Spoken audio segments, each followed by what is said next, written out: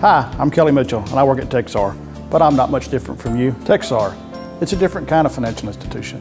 The reason is simple. We're part of the same community you are. We know how important it is to be here for our members when they need us the most, and more importantly, we know how important our members are to us.